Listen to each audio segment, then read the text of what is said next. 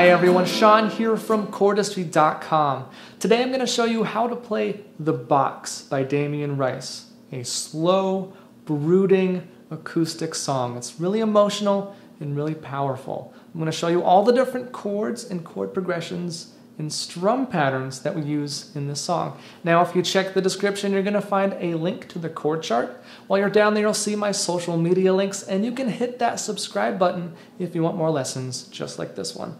Okay, I'm to zoom in now so we can check this one out. Okay, so we're in E standard today, regular standard tuning, E, A, D, G, B, E.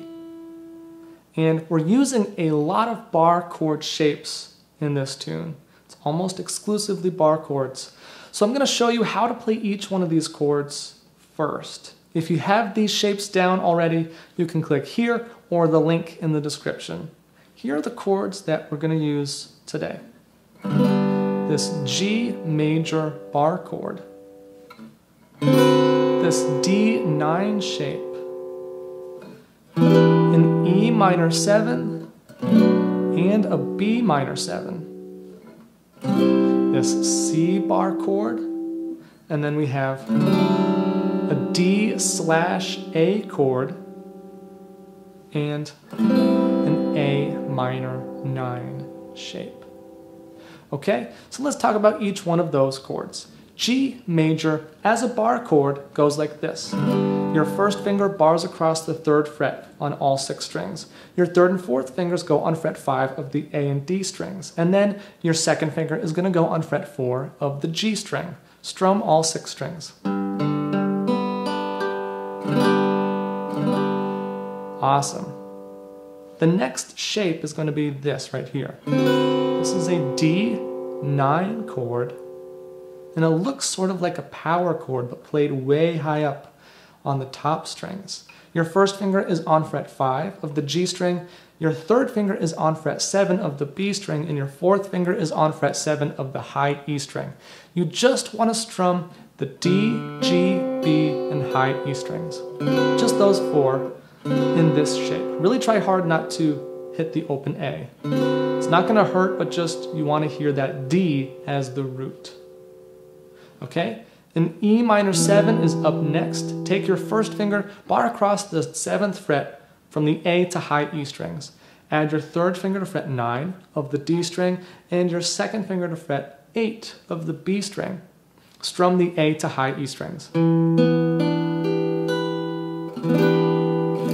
That's an E minor 7. A B minor 7 goes like this. Your first finger bars across the 7th fret on all six strings. Your third finger goes on fret 9 of the A string, and I like to use my second finger to help out the first so I can really hear all of the notes that are being barred, especially that D. You want the note on the D string to come out because that one is the one that makes this a 7, a minor 7. Without that note, it just sounds like a regular minor chord. So try hard to hit that D string. Okay, the next shape is a C bar chord. It's the exact same shape as this G down here, but just up at the 8th fret. Take your first finger bar across fret 8 on all six strings. Add your third and fourth fingers to fret 10 of the A and D strings and your second finger to fret 9 of the G string. Strum all six strings. There we go the next shape, this one right here, I'm gonna call this a D slash A chord. Even though it has a much longer name. The open strings are just gonna be coloring the chord with a different sound. The notes you're holding down though make a D slash A chord. So your first finger goes on fret 3 of the B string. Your second finger goes on fret 4 of the D string. Your fourth finger goes on fret 5 of the A string, and your third finger goes on fret 5 of the low E string. So those are the four notes you're holding down, E, A, D, and B, but include the open G and the open high E. The real name for this chord is a D major 11 slash A we're just going to think of it as a D slash A for this song.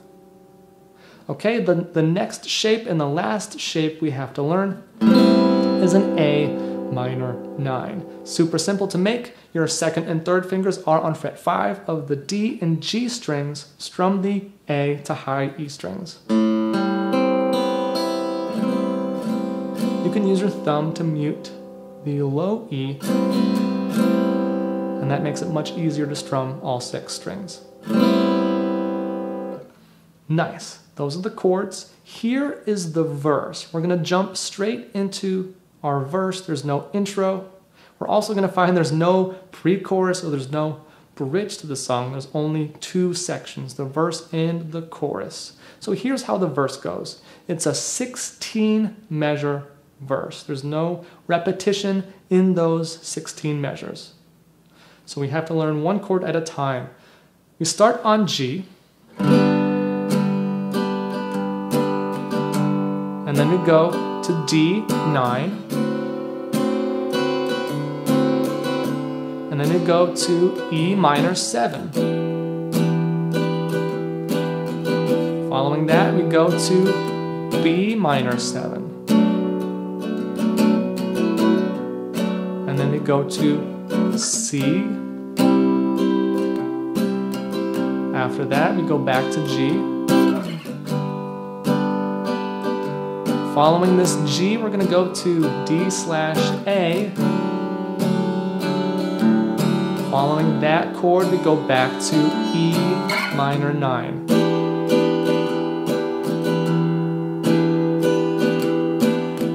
Excuse me, E minor 7. Okay? So that was our 16 measure verse. We only have eight chord switches happening but it's 16 measures. Each chord is going to happen for two measures. So that makes it easy. And each chord is going to go through two of these one measure strum patterns. Here's how it goes. We're going to do down, down, up, up, down, down, down, up. That's the strum pattern that we're going to use for this whole tune. Down, down, up, up, down, down, down, up, down, down, up, up, down, down, down, up, down, down, down, down, down, down, down, up, up, down, down, down. Okay, so you hear when it repeats, we go down, down, up, up, down, down, down. So after the quick down, up, we start over. Down, down, up, up, down, down, down, down, down, up, up, down, down, down, down, down, up, up, down, down, down, down. Okay, so now let's break this chord progression down into two parts. I think it's a little bit easier to think of it as two groups instead of one large group. So here's the first half. We're going to go G to D9 to E minor 7 to B minor 7. Okay, that's how the chords move around. Again, we're going to strum two times through our strum pattern per chord, and that's going to make it a two measure group for each chord shape. G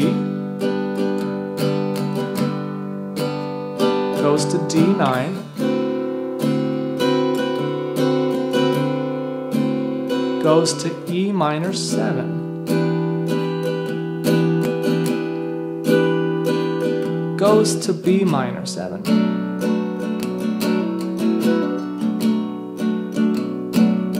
I also want to stop here because we have something going on inside of the B minor 7 chord.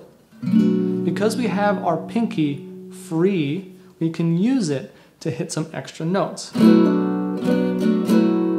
So the note that I hear the most is this one right here, the ninth fret of the G string. So you can somewhere inside the strum pattern, feel free to use your pinky to go to the, the ninth fret of the G string. You can also hit the ninth fret of the D string.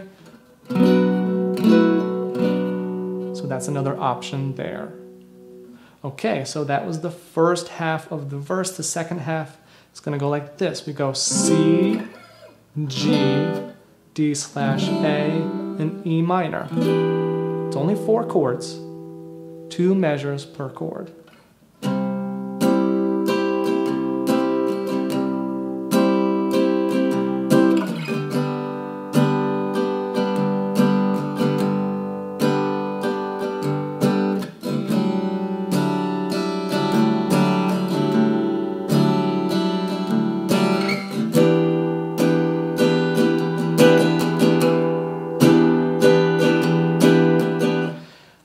That last E minor 7 chord, you might want to do this. Here's what Damien Rice does. He includes the open low E string in that E minor 7 shape. So we're just doubling the root note an octave down. We have this E, we have that E as well. So it makes it extra bassy, extra moody, just like this song is.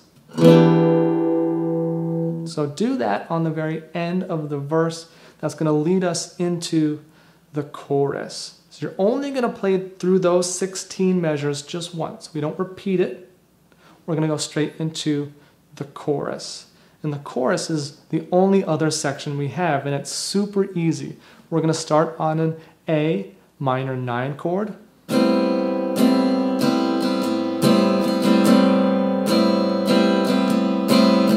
Play the same strum pattern that you've been doing for the verse. Down, down, up, up, down, down, down, up. All right, two times through that, which would be two measures, and then we go to an E minor 7. Do the same thing, include that open low E.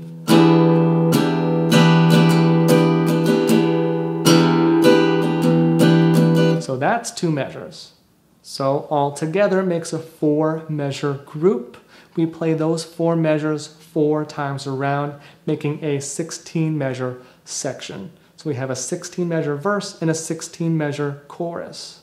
All right? So we're just going to go back and forth between that A minor 9 and that E minor 7 chord.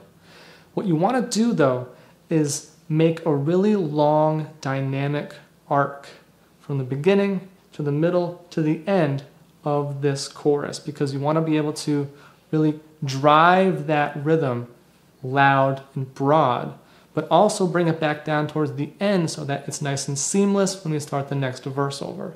So I'll play it for you. I'll show you how you can do that. You're just to use the same strum pattern, maybe add some extra strums in there, but more you're going to start soft, bring it out, play loud, bring it back down for the end. So just listen. Here's how you would do that.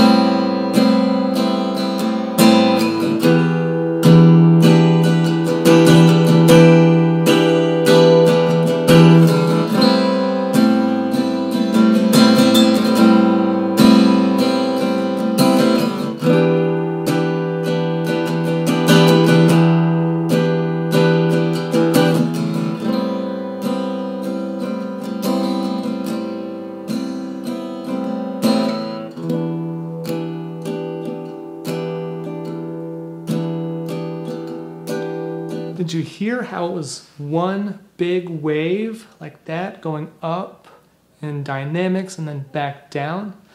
That adds some extra composition to the song. It's not just a chord progression, it's not just a strum pattern, there's extra stuff in it that dynamic expansion and contraction makes this song have so much emotion to it.